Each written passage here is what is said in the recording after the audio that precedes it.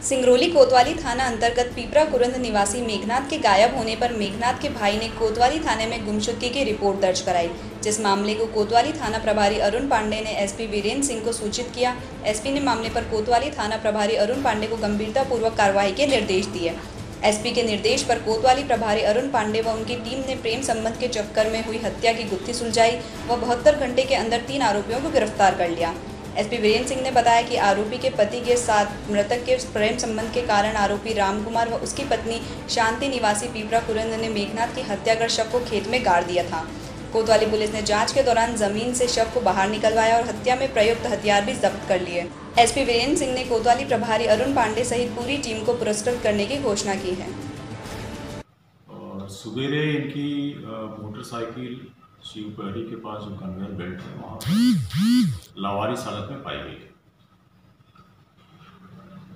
इनके भाई प्रेमलाल खेवट के रिपोर्ट पे गुमशुदगी का प्रकरण बैठन थाने में दर्ज किया गया और उसमें जाँच शुरू की गई मृतक मेघनाथ केवट जो है इनकी निकालने पर ये ज्ञात हुआ कि राम कुमार बैगा से इनकी बातचीत काफ़ी हुई है। संदेह के आधार पर राम कुमार बैगा से बुला करके पूछताछ की गई।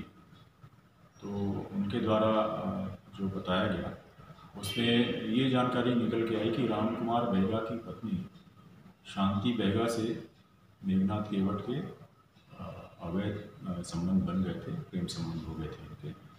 और इस बात की जानकारी राम कुमार बैगा को हुई। इस बात को लेकर के इनके आपस में विवाद होते रहे थे। और घटना दिनांक को इसको राम कुमार को ये जानकारी मिली कि उसकी पत्नी जो मायके में रहती थी, वहाँ पर मेघ, मेघनाथ केवल गया हुआ है उससे मिलने। तो ये जैसे इसको जानकारी मिली तो इसने योजना बनाई और मेघनाथ केवट का मर्डर करने के लिए यहाँ से कुल्हाड़ी लेकर के गया वहाँ पे। और उसके जो, उसकी पत्नी का जो मायका है वहाँ पर उसने मेघनाथ केवट को वहाँ सोते हुए देखा।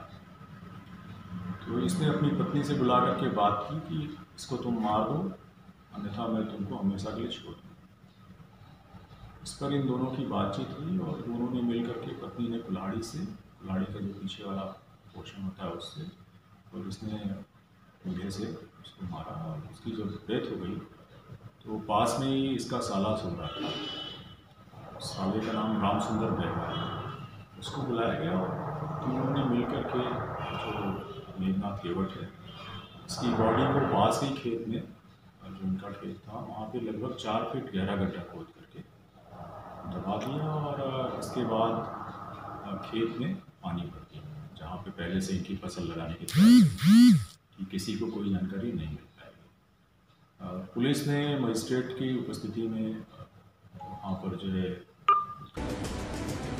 सिंगरौली से उपेंद्र दुबे की रिपोर्ट।